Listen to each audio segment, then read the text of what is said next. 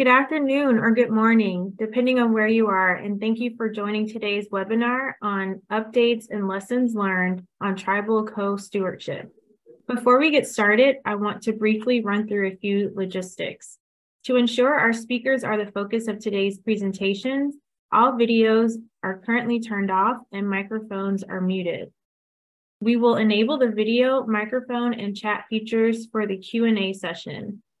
To view closed captioning, please click on Live Transcript in the menu on the bottom of your screen and select Show Subtitle. Again, to view closed captioning, please click on the Live Transcript in the menu on the bottom of your screen and select Show Subtitle. Lastly, for those who wish to download a copy of today's PowerPoint presentation, it will be added to the White House Council on Native American Affairs website in the next few days. We will notify registrants when it is posted. Now I will turn things over to Maria Wiseman to kick off today's discussion. Thank you, Dominique. My name is Maria Wiseman. I'm the Senior Policy Advisor on Climate and the Environment for Bryan Newland, Assistant Secretary for Indian Affairs at the Department of the Interior. I represent the department on the White House Council on Native American Affairs Climate Adaptation Subcommittee. One of the primary goals of the subcommittee is to develop and deliver training for federal employees working on climate adaptation priorities. This year, the Climate Adaptation Subcommittee will host a series of monthly webinars to provide educational resources about consulting and coordinating with Indian tribes, Native Hawaiians, and other Indigenous peoples in our combined effort to combat the climate crisis. Today, we're pleased to continue the series with a discussion of tribal co-stewardship. Today's discussion will open with Weezy Garriott, Principal Deputy Assistant Secretary for Indian Affairs at the Department of the Interior. Weezy is a member of the Rosebud Sioux tribe in South Dakota. He was appointed to his role as Principal Deputy in 2021 by Deb Haaland, Secretary of the Interior, and is a leader in the field of co-stewardship. We're also pleased to have Chief Anne Richardson, who has served as chief of the Rappahannock tribe since 1998 and is the first woman to lead a tribe in Virginia since the 1700s. As a fourth generation chief in her family, Chief Anne has a long history of community leadership, including recently leading the effort to reclaim hundreds of acres of her tribe's ancestral lands. We're also pleased to have Patrick Gonzales Rogers, who is a distinguished practitioner in residence at the Yale Center for Environmental Justice and a lecturer at the Yale School of the Environment. As the executive director of the Bears Ears Intertribal Coalition, Pat led the effort to restore Bears Ears National Monument, resulting in a landmark agreement in 2022 for co-stewardship of the monument. Welcome, Weezy, Chief Anne and Pat, and thank you for joining us. Weezy, please go ahead. Thank you, Maria. Um, Hamita pi iha chante washten ape choose apelo. Uh.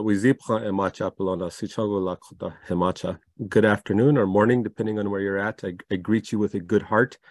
Uh, my name is uh, Wizip Khanlalau Garriott. I serve as a Principal Deputy Assistant Secretary for Indian Affairs, uh, and I am a, a member of the Sicangu Lakota Oyate and uh, come from the uh, wrapped hair band of my people. Um, our government name is is Rosebud Sioux Tribe.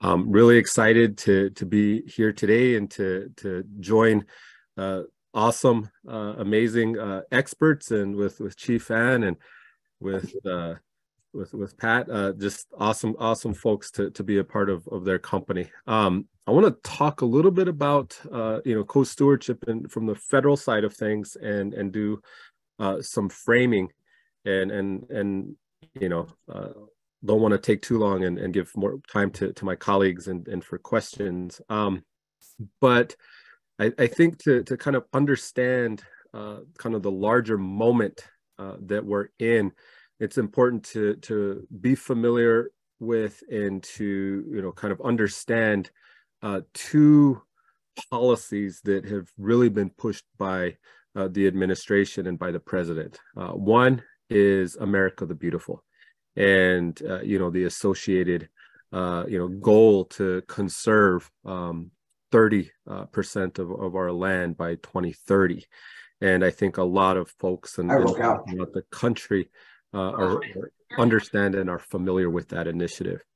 Related and not mutually exclusive, but also at the same time independent, is the tri- is the president's Tribal Homelands Initiative, which the, the goal of that initiative is really to uh, strengthen, uh, protect, and ensure that every Native nation, uh, we have sub, we, we recognize 574 of them, have a homeland uh, to to call their own uh, that is their original lands, and that we need to be working to uh, ensure that that they that they have what they need in order to uh, take care of their people and and to continue to uh, fulfill uh, their destiny as as native nations according to their own beliefs and traditions. These are are not mutually exclusive, and in fact, complementary to one another. I, I like to think that uh, in the middle, right, when when those two policies come together, uh, what they create is uh, tribal co-stewardship and and homeland return. And uh, I'll first talk about what what co-stewardship is, and then talk a little bit more about what that looks like. Um, we we think of of co-stewardship uh, also sometimes called co-management, uh, as something that's on a spectrum. And uh, on one hand, uh, on one side, you have what we would consider to be tr- uh, co-management, and then on the far end, we what we would call uh, co co-stewardship. and let's I think it's also important to to distinguish that that these um, are not necessarily land ownership um, but I, I, know that it's it's it's a part of uh, connecting uh, tribes and indigenous people to their original homelands and being able to bring in uh, their uh, expertise that is so so so much needed. So on one hand we have co-management where you know a native nation is is co-managing uh, a federal property uh, Oftentimes, uh, that is brought about um, by a court settlement and or uh, legislation. And uh, we see a lot of that kind of co-management of land and resources in the uh, Northwest around fish, uh, you know, also in, in other places. And so that that is mandated by law. Um, the return of the National Bison Range uh, to the Salish and Kootenai, for example, is is is a part of that, where where by legislation uh, they the, the land was returned to them. And then on kind of going down the the list in terms of on the spectrum would be some kind of agreement uh, that is formal and written um, and that has very specific uh, things laid out in it. Uh, oftentimes, that would be a funding agreement uh, or a 638 self-determination contract, for example, where uh, a tribe or a group of tribes or whatever that entity may be is performing specific activities or making uh, decisions uh, in certain areas on a on land management. Then, uh, kind of another point on the spectrum, one could think about um, participation in a management plan. Uh, contributions to the plan, bringing expertise to a land management plan, uh, sitting on a decision making board. Uh, that was one of the things we recently did with the the, the recent uh, bison announcement and the creation of the uh, a, a, council within Interior that makes decisions around bison management that reserves a seat for a tribal leader. That's an example of of what that might look like. Uh, and then finally, you know, kind of looking at it on, on the, the the far end of the spectrum, it might be an MOU or some other kind of agreement that uh, would would kind of meets the goals and objectives and purposes of, of a tribe. Uh, a lot of times that might uh, entail uh, harvesting or gathering rights or certain access rights uh, for to perform cultural or ceremonial activities um, during the year. And so there is no one specific form of uh, co-stewardship. Uh, we, we like to think of it being on a spectrum, and uh, it's really about uh, uh, accessing uh, one it's allowing the tribe um, and recognizing their inherent ties to these lands, to the lands, um, while at the same time something that benefits the the federal government. And I just want to make one point on on each of those. Tribes have been here uh, for for thousands of years since time immemorial. Their native nation sovereignty predates the formation of the United States, predates the colonies, and uh, they've been here. They've, they've been the first owners, the first stewards of this of, of these lands, and they did a pretty good job for thousands of years in managing those lands. Uh, and it's only been uh, recently, within the past several hundred years, that we've uh, not done such a great job.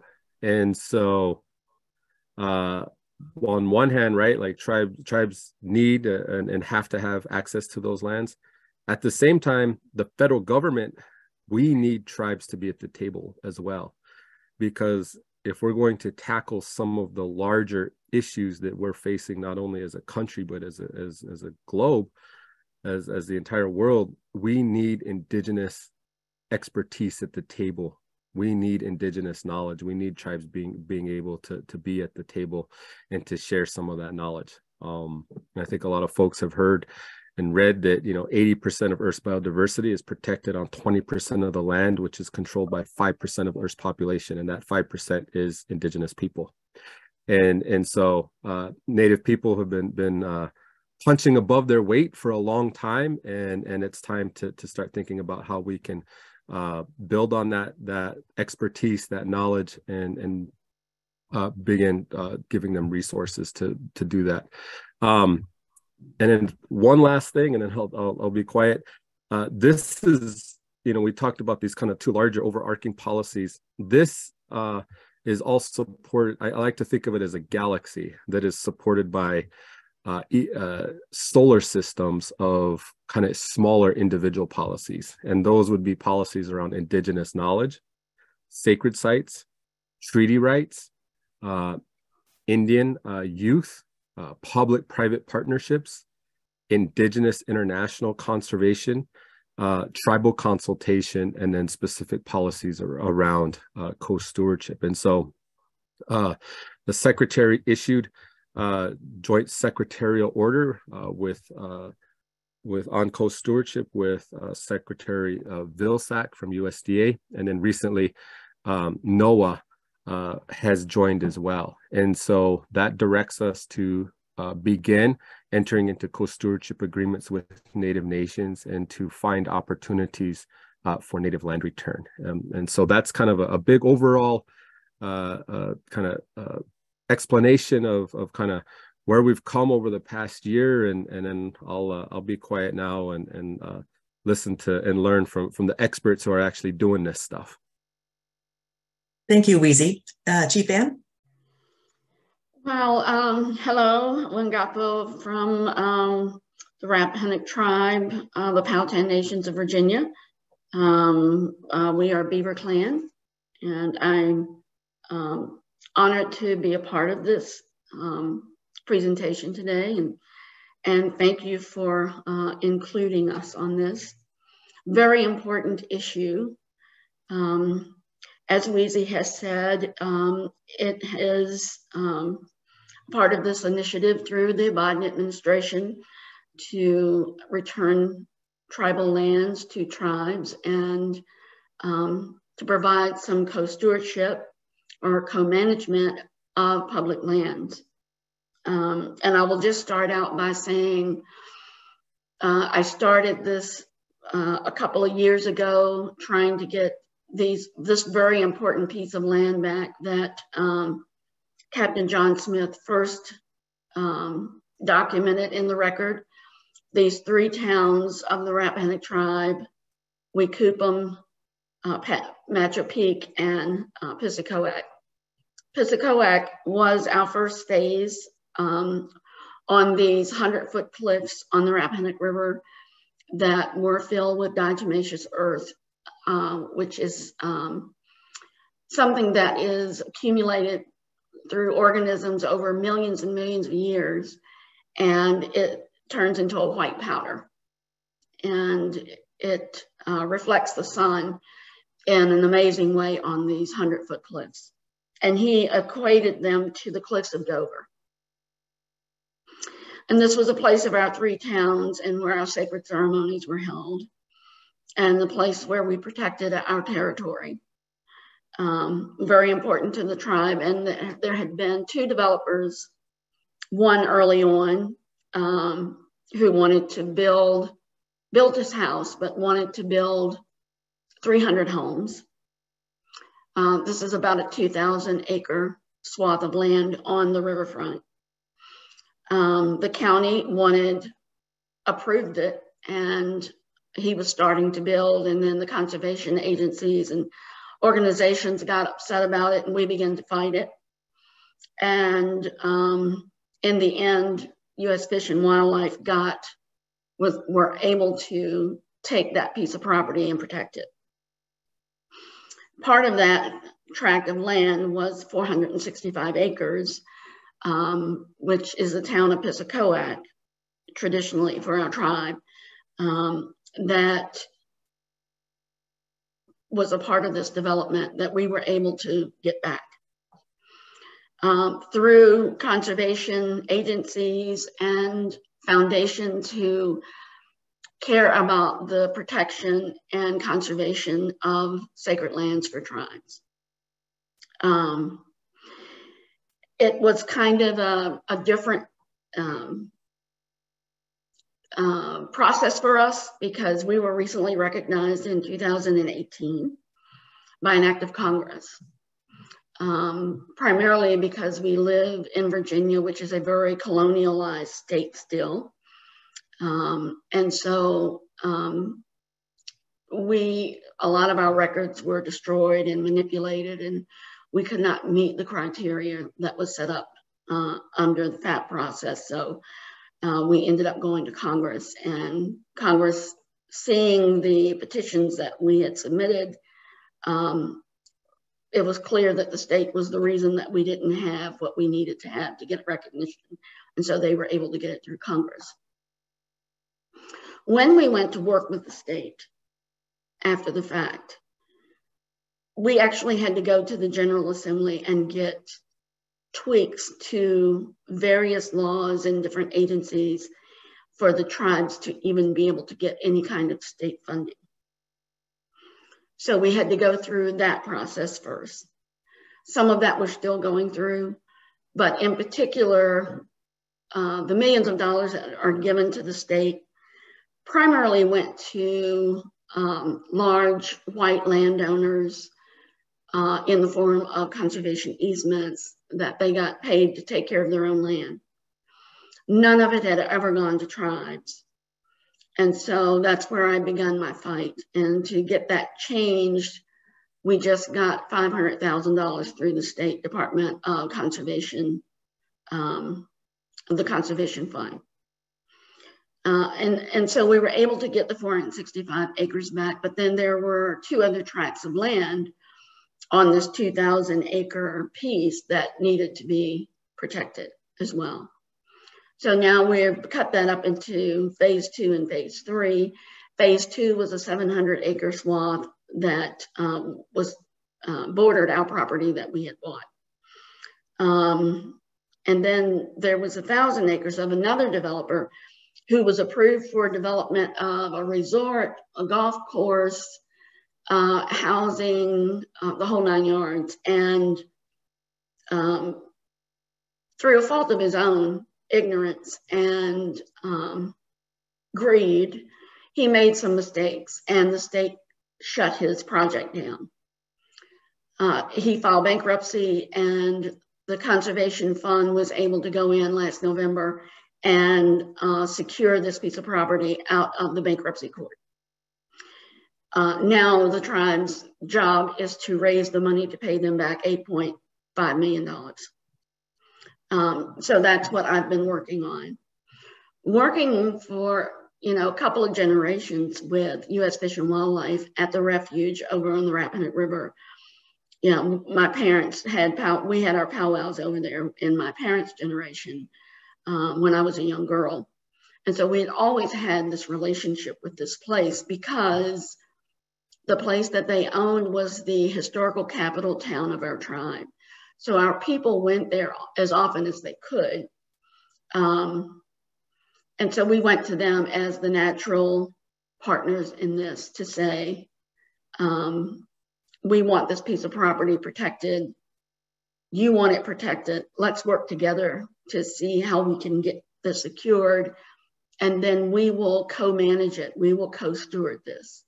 We'll take our resources um, uh, that we can get, both manpower and equipment and whatever, um, and you take yours and we'll put them together and we will manage this place in a way that has not been done before. And we will share our Indigenous knowledge with you so that you can make sure that um, people who come here will be able to take care of this property the way it should be. And so they have become our forever partners in this. Um, they are uh, providing $5 million in terms of um, whereas before we, we raised all the money and then we donated a conservation easement to U.S. Fish and Wildlife.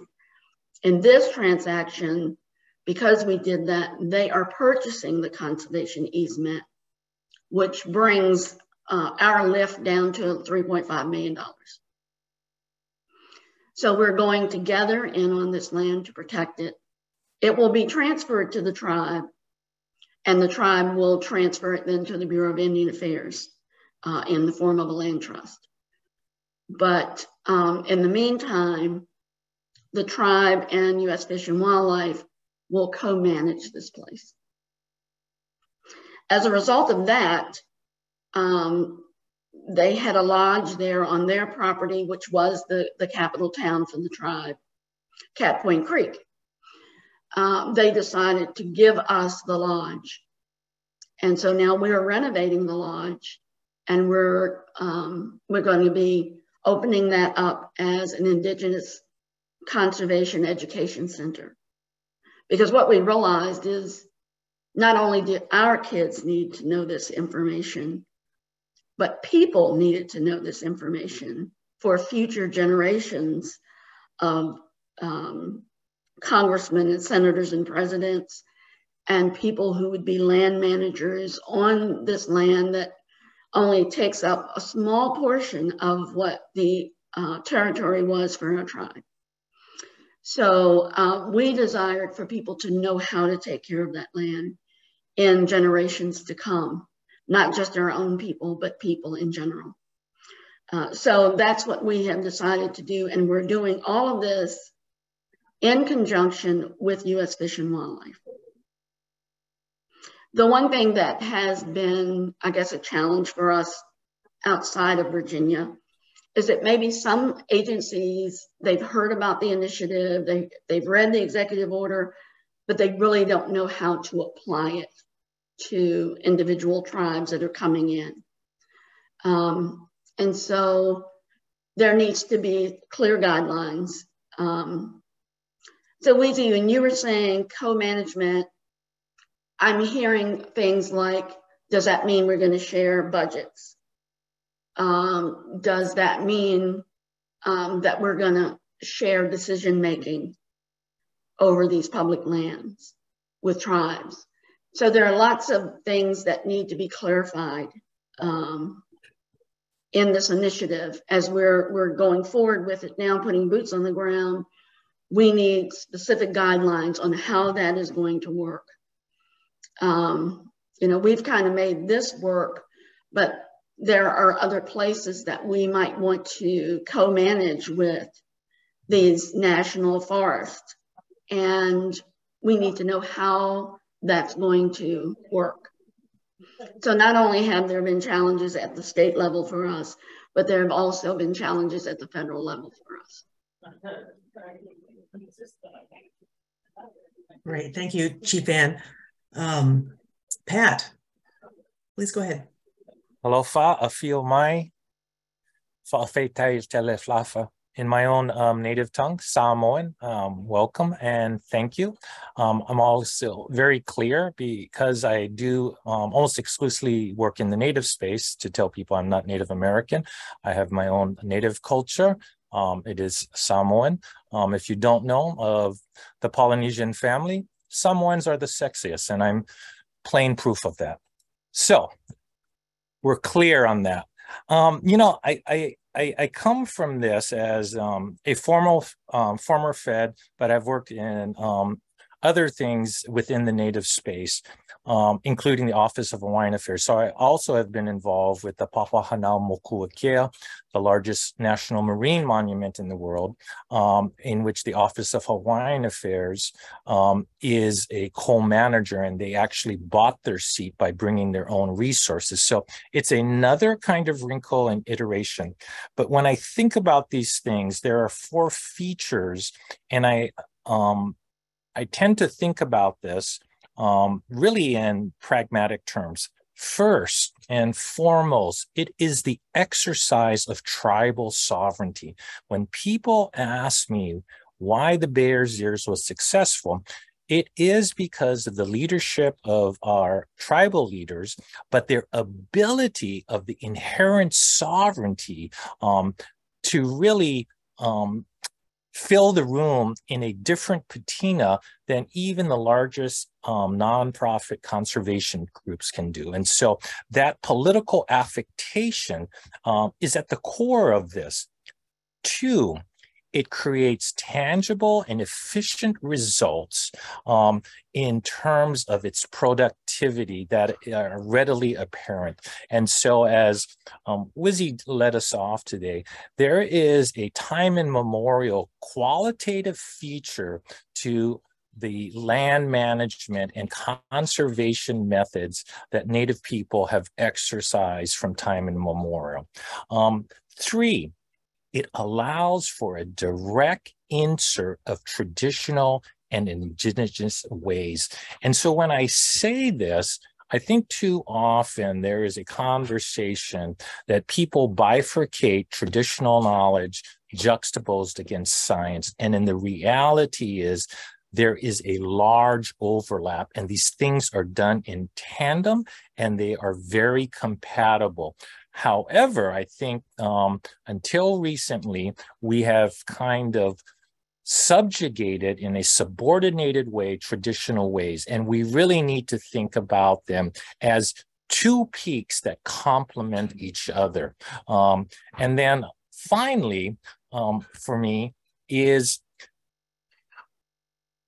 co-management, collaborative management, co-stewardship, you know, whatever the vernacular, is a real-time exercise of restorative justice and environmental justice. By doing these, we correct the inequalities, um, the historical events, and one must really remember through the treaties um, that are a little under 400 and all of the other kinds of dealings of the last several hundred years, there is no other way to say it. There was a violent overtaking of native lands that was intentional and prescribed by the US government. It was because they wanted to occupy these lands. And this provides some correction to it. So those are the four main points that I, I, I want to kind of amplify. There, there are two other things that I think are really kind of, um, at least where I sit now, um, that I wanted to make observation. One, I think too often, and this is especially true in the conservation environmental community, we want best practices. But because of the great kind of divergence of capacity and infrastructure relative to tribal governance, um, you know, let's consider a small rancheria relative to a large land-based tribe like um, Navajo, it really requires the predicate of um, peering in and making some very quantifiable kinds of observations about capacity and infrastructure. Um, because of that, um, I don't think um, the way we use the portability of features and how you do it can just be done in every situation. What we have to do is be observant um, because I think there are in, um, idiosyncratic contours and features specific to each tribe and we we need to be very observant of not being monolithic about that the second portion uh, and be um, I say this because I'm no longer a Fed, and so I can kind of harp on this. I think the department has to take a serious look on their utilization and liberalizing the implementation of 638 contracting. Um, it has now become, and this is from many of the um, land management agencies, um, you know, there are four kind of primary ones BLM, Fish and Wildlife, um, National Parks, and U.S. Forest Service that use that as not as a door, but as a gate to keep tribes out. And the rationale is it creates a slippery slope. And while this is a federal kind of broadcast, I call bullshit. Um, because if you look at the 94 amendments, and I was general counsel to the Indian Affairs Committee. There is no legislative history about protecting the agency. It is done on behalf of the tribe for the productivity and efficiency that they can carry this out. And that is why they certified 638 contracting. So my premise and posit is we need to open that gate wider because it really allows for the distribution of administrative resources and assets that should really be on the tribal side. And so um, I'll close up by saying those are my pithy comments for today. Thank you, Pat, and thank all of you. So we have some time for some questions. Um, and I want to start out with a question that was submitted through Eventbrite. Tribes in Washington state are concerned about co-stewardship and their treaty hunting rights and the lack of access to their unusual, to, sorry, to their usual and accustomed hunting areas. These areas are closed to tribal hunting by private timber companies. Could our speakers address this?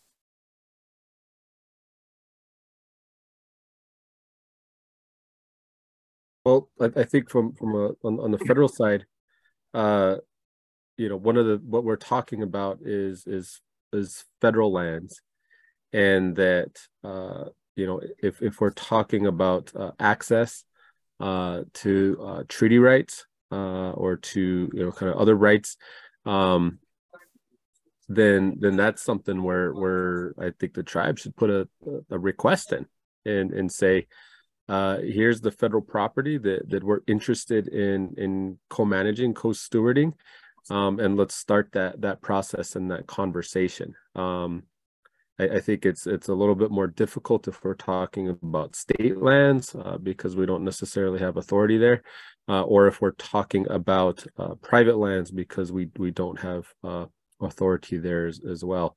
But I think that that what's exciting uh, about a lot of this work is, you know, really looking at, at like uh, Chief Anne's example, that was private land that they acquired, uh, you know, and and you might some tribes may say, you know, it's uh, it's it's not great that, that we have to buy back uh, land that was once ours, uh, you know, but I think we we get that, uh, but at the same time, um, you know, I think some tribes just take the initiative to to kind of do what's necessary to make that happen. Um, just as a, as a plug, we released our budget today uh, with substantial increases uh, for the uh, land acquisition uh, fund for uh, uh, landless or, or tribes that don't have a lot of land. Um, and so, you know, that's another area where I think that that folks can can get involved with, with as well. Over. Great, thank you. Anybody else?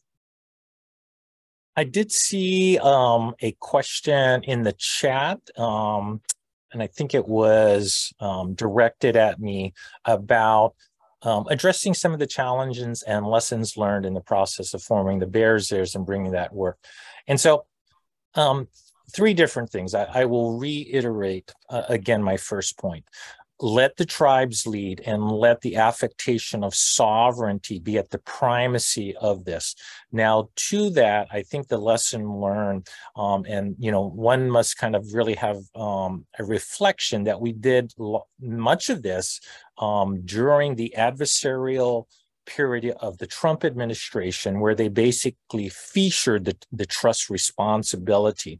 Um, and so because of that, um, we had to be in a situation um, where we really partnered up um, with large philanthropy, traditional conservation, community groups, and outreach outdoor, um, outdoor retailers. My point to this is um, in order for us to do the work, um, we really want your partnership. And, and so um, this is the other portion about it is if you let the tribes lead, they um, inherently know what to do, but sometimes they need to kind of fortify and buttress their um, activities. So I, I think that's something that we don't truly kind of consider. The third point, though, is one of comportment. And what I mean by that is um, many people now talk about letting tribes leave. They want, um, you know, just not in the Indian country, but within the greater BIPOC community, they want to see that representation. What is lacking, though, is not the enthusiasm for Native leadership. It is the institutional gestation of these organizations. If you want new leadership, it will look feel and smell differently. And for many people, it becomes very awkward for them because they have not seen it. And so my particular point is back up a little bit. Let us do the work because again, if really what you're looking for is a different iteration, a more robust patina. Um, the process from these communities is going to make the process starkly and dramatically different from what you, you're used to. And so uh, we need some space in order to do the work. We appreciate the support, but we also need your patience. So those are the kind of three highlights that I would say of lessons learned relative to the Bears Ears. Great, thank you. Also, there was uh, a question for me about um, why would I put this land into trust with the BIA? Um, and the reason that we would put it into trust with the BIA is to protect it for future generations so that um, our tribe will always have um, our sovereign status on that property. And so what Patrick was saying earlier about part of us asserting our sovereignty in taking these lands back is when we put that um, those lands into trust with the Bureau of Indian Affairs, then we automatically have sovereign powers over those lands um, to make decisions and to manage the way we want. So it gives us another level of authority that we wouldn't have otherwise. Great, thank you. Uh, another question is the view that co-management of federal land can only mean non-development of the land.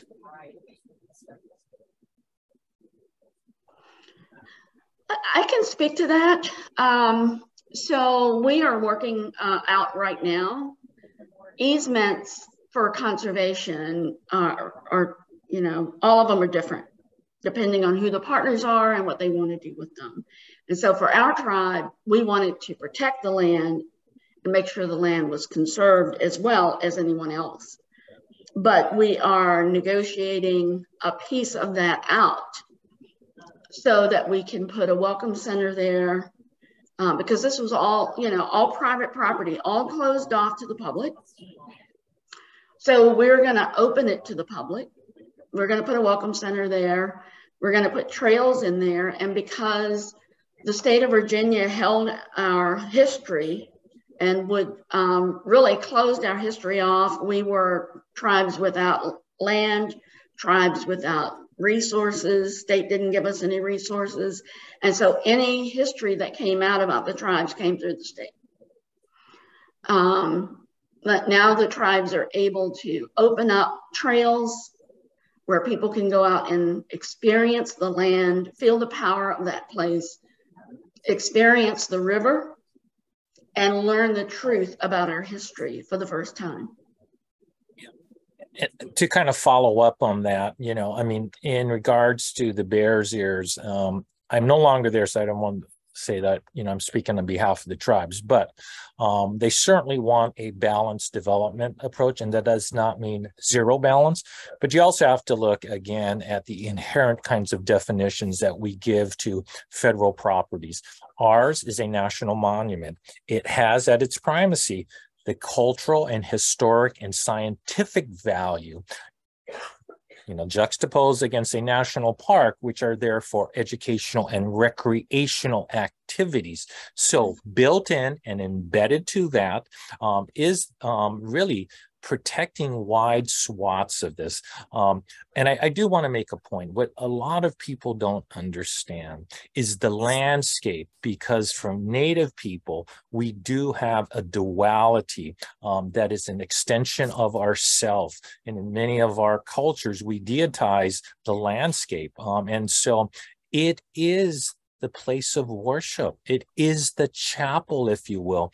And the way we talk about iconic kinds of places, um, like the Cathedral of Notre Dame, which globally has such kind of deference because it is you know a titular kind of example of gothic gothic architecture someone's been reading national geographic um, is the same way we think about the Bears Ears. And so you should have that same sensibility that you are in our church. Um, and because the church has uh, something several miles away, it is the totality of the landscape and the pristine, which then makes the sacredness of it. And so that is really has to be conveyed from a native perspective. Um, and then again, just re reinforcing, we're, we are talking about a national monument. So the designation is already inherent to that. Just to, to, to build off that, uh, you know, each one of these kind of federal agencies or, or land designations, you know, comes with its own whole unique set of rules uh, bureau of land management fish and wildlife service national park service uh, you know noaa. Uh, so so so you have to operate within that that that kind of framework and and th- those are the the rules that we have to to to live by and they're different. Fish and wildlife uh, you know u.s forest service very different than than fish and wildlife service. Uh, so so we we have those rules. Uh, within that though I think the big thing is is really making sure that the you know in this we're we're we're deferring to tribes and, and what they want and, and what they're looking at. I'm thinking of a particular uh, co-stewardship uh, proposal that we're looking at right now, where uh, it, it involves a, a, lake that that you know is adjacent to the reservation, and the tribe wants to put in uh, boat docks. Right? They've they've said we've fished here for for for a long long time, and we'd like to to uh, enhance our ability to fish and and interact and and and you know swim and and you know just be a part of that environment. And so uh we want to we need some boat docks so again it, it really really depends um and and it's really important to that the, the the the tribe lead lead in in in that discussion. Wizzy makes a great point, and, and I think another really kind of illustrative example is the Columbia River. The Columbia River salmon are sacred, but what is also um, kind of packed in there is they save the salmon industry. And so there is a high yield economic activity. Um, and so I don't think we we need to kind of, you know, create a binary that one is not the other. Um, I think there's some balance to all of this. Great, thank you. Uh, from the chat, we have a conservation, green energy, green economy uh, question. How do you feel about plants and weeds used for alternative fuels? Uh, again, I, I, we're talking i, think I, I defer to the tribe right like like we're talking about indigenous knowledge and uh I, I think if you're looking at it at least you know from, from my tradition there is no weed right? Every plant has Right. a use and a purpose. And uh, it's it's fight and and a lot of times if you have an imbal an imbalance of, of of plants it shows an imbalance in the soil and and we got to fix that and we should look to the look to the tribes who who, who know what they're talking about to to do this. And uh you know quite frankly we we'd be avoiding a lot of the challenges uh you know that we're facing uh if we just listen to the tribes from the beginning Great, There thank is- you. Oh, go ahead, Pat. No, I was gonna say there is a comment about um, common definitions, um, and I think this is a, a really great question. Um, it is not as if we can turn to Webster's and you know there's the definition.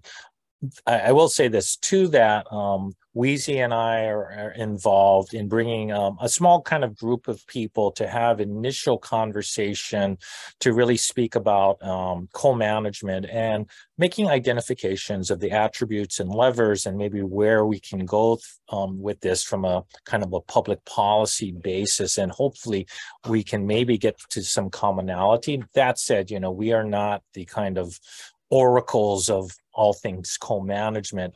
Um, this meeting um, that we'll be doing later in march um, with Kevin Washburn and some others is to really kind of at least make some um, observations, put pen to paper, and then um, really have an iterative process, and then bringing this paper to um, really all quarters of Indian country so they can weigh in. And hopefully, um, I think from there, we can maybe come to some agreement and some definitiveness on how we use these terms um, and then make them relative to particular situations. But I, I think, you know, we're still in the beginning phases and it's somewhat fluid.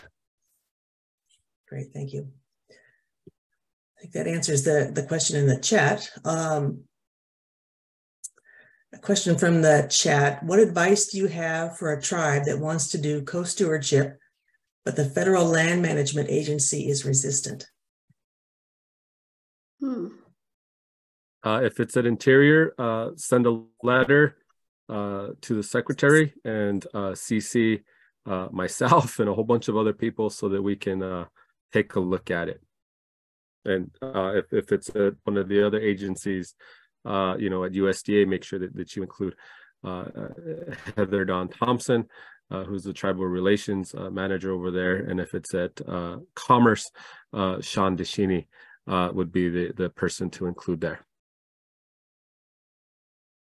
Great, thank you, Weezy. Uh, can you speak to administrative barriers that burden tribal communities in regard to access to federal funding? I believe there was a mention of 638 contracting. How might structures like that be improved? Sounds like a wheezy question. So, uh, so, so, so, so one of the and and and Pat kind of kind of referenced this a little bit is this idea of uh, inherent federal function, and and whether a a specific federal activity uh, must uh, remain with the federal government, or can there be a delegation, or can it be contracted out for the performance of that service? Um, and and those are kind of two two areas one is is the 638 funding to you know perform a service and what is the scope of that and then also you know on the shared decision making process in terms of uh, at what point is is that uh, you know uh, kind of leaving that inherent federal function and so uh, there, there's this this idea that only a limited and certain amount of of uh, programs or programmatic functions are contractable. And uh, we publish a list of those programs every year. Uh, but to be clear, that is not the, the definitive list. It is just a list of ones that we've identified. And we've actually held a consultation on that to get more guidance because uh, this is going to, to, you know, I think Pat, Pat alluded to this. This, this is going to, to take up a lot of uh, time, energy, uh, moving forward in terms of what what what we can and can't do. But I, I think we're really only limited in terms of our creative thinking here, and I'll, I'll post that as well. Great. Thank you. Weezy, you posted a couple of resources in the chat. Um, the, it was the co-stewardship report and the co-stewardship authorities. Do You want to say a couple of words about those? Uh, yeah. So, so uh, we we have a whole bunch of of documents, very specific documents, fourteen of them that I, have counted so far. I don't want to put all of them in there, uh, but but in addition to the the uh, the, the secretary order directs us to create to give a list of the of the authorities uh, legal authorities that, that we can utilize to enter into co-stewardship agreements, uh, as well as an annual report on what, what we've done. And so that I put that in the link. Um, and then, uh, uh you know, I'll, uh, and, and so there's a, there's a whole lot of work here going on in terms of very kind of uh, federal uh, kind of policy and, and documents. And, and there's also a list of uh, step down guidance, uh, National Park Service, Fish and Wildlife Service, uh, BLM, and BIA. We have also issued uh, guidance to the field in terms of how to implement that. And then the next piece that we're going to be working on this year is, I think, what, what Chief Adam was talking about was how does it get implemented? And we, and we got to do training training, training, training, so that uh, our folks in the field understand what this is, understand what the authorities they have, and also understand that, that this is a directive, that this is coming from from the top, that, that we are to, that the, the secretary order is very clear. The secretary directs these agencies to enter into co-stewardship agreements with federally recognized Indian tribes. That's a directive. And it also directs us to look at opportunities for land return. Thank you for that. We're almost at time. So I want to thank you, Weezy, Chief Anne, and Pat. Uh, really great. And I want to acknowledge your work and for bringing this timely information to us today. And I want to thank everyone for joining us. Uh, this webinar series is designed to provide educational resources to all of you as you consider climate impacts in your work. I want to encourage you to attend the next webinar in April, sponsored by EPA. We'll hear about priorities and themes in tribal, tribal climate adaptation. Uh, registration will be available soon through Eventbrite. And if you follow the White House Council on Native American Affairs Climate Adaptation Subcommittee on Eventbrite, you'll be notified as soon as registration goes live. And thank you again to our panelists. It's been really fantastic, a really good conversation. And uh, thank you all, everybody from the audience, and uh, have a good day. Thank you, Maria.